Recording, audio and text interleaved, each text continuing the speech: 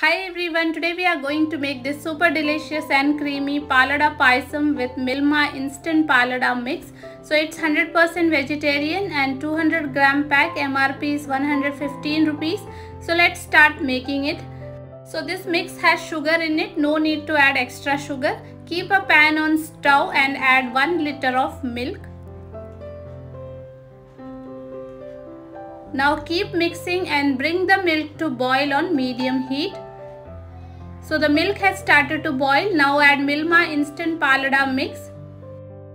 Keep stirring and bring it to a boil. So palada mix has started to boil. Now make the flame low medium. Cook for 10 to 15 minutes. And after 15 minutes our instant palada payasam is ready to serve.